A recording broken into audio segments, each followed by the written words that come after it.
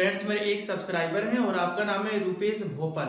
आपने comment box में पूछा कि जब कोई बोलता है आई एवर हैड या आई हैव एवर हैड तो इस बात को लेकर कंफ्यूज हो जाते हैं कि कैसे समझे इनका सही यूज़ क्या है या इनका मीनिंग क्या है और हमें इसे कब बोलना चाहिए। तो आइए फ्रेंड देखें कि आई एवर हैड या आई हैव एवर हैड क्या है और आपको इसे कब बोलना चाहिए। फ्रेंड्स अगर आप मेरे चैनल पर नए हैं तो चैनल को सब्सक्राइब करें और बेल आइकन को हिट करें ताकि मेरा लेटेस्ट वीडियो आप तक सबसे पहले पहुँच सके। तो आइए फ्रेंड्स इस लेसन की शुरुआत करते हैं। आई एवर हैड मीन्स जो मेरे पास था, और I have ever had means जो मैंने कभी लिया था। आइए फ्रेंड्स इस बात को एक एग्ज़ाम्पल में देखते हैं। It is a loveliest car I ever had यह एक बहुत प्यारा कार है, जो मेरे पास था।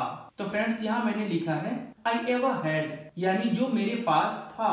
आइए फ्रेंड्स दूसरा एग्ज़ाम्पल देखें। It is a loveliest car I have ever had यह एक बहुत प्यारा कार है, जो मैंने कभी लिया था। तो फ्रेंड्स यहाँ आपने देखा कि आई एवा हैड यानी जो मेरे पास था।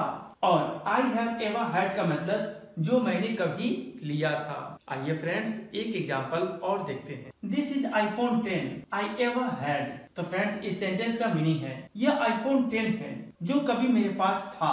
आइए फ्रेंड्स दूसरा एग्जांपल देखें। This is iPhone 10 I have ever had यह आईफोन 10 है।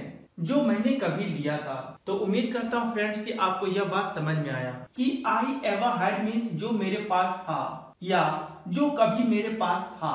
और I have ever had means जो मैंने कभी लिया था। तो उम्मीद करता हूँ फ्रेंड्स कि आपको ये लेसन बहुत पसंद आया होगा।